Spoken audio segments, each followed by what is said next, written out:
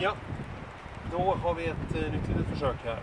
En, eh, ett inline-filter som sitter här. Som eh, ska filtrera vattnet ut från eh, kaminen då, och vårt element som ligger där. Det är ju så att när vattnet i elementet blir varmt så släpper det små rostflagor och skit. Det har ju kommit med i, i badbaljan sen och det, det är väl inte jättefräscht. Så nu provar vi att sätta ett filter på returen här då. Så får vi se hur mycket det fångar. Och är det så vi sätter igen så, så är ju det här det är ju väldigt snabbt gjort. Bara öppna och, och rensa ur det här och köra vidare.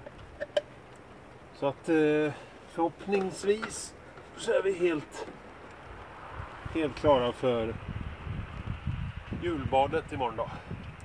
Får vi se.